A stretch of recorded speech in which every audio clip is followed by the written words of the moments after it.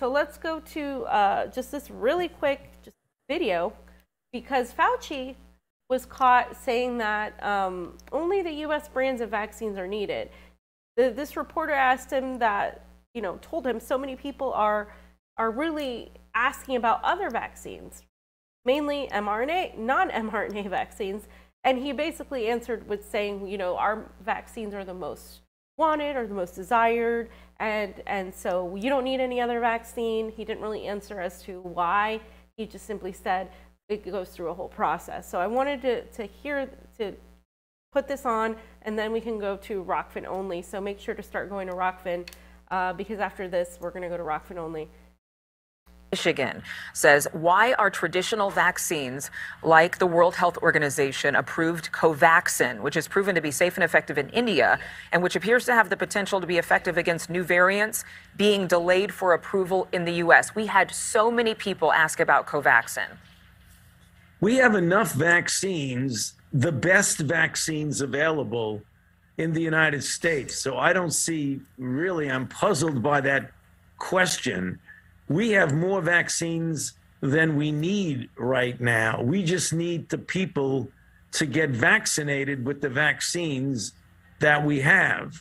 The mRNA vaccines are vaccines that are desired by everyone else in the world. So we have what we need. We need to use it. But are you not, are you opposed to alternative treatments?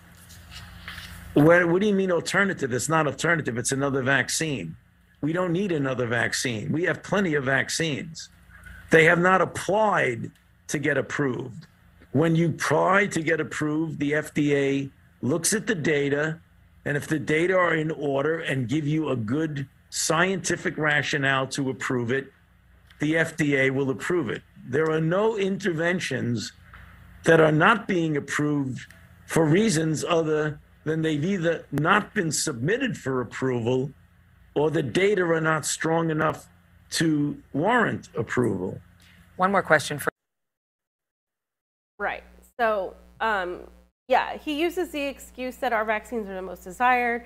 He says, you know, there's a process that, that and all of this stuff, but he specifies mRNA vaccines, and a lot of people have hesitancy with those vaccines. People have asked about the Cuban vaccine, Russian vaccine, uh, the Chinese vaccine. Some of those uh, are very similar, but some of them are very different. And so what we're saying is, why not allow that? She even pushed back and said, so are you against it?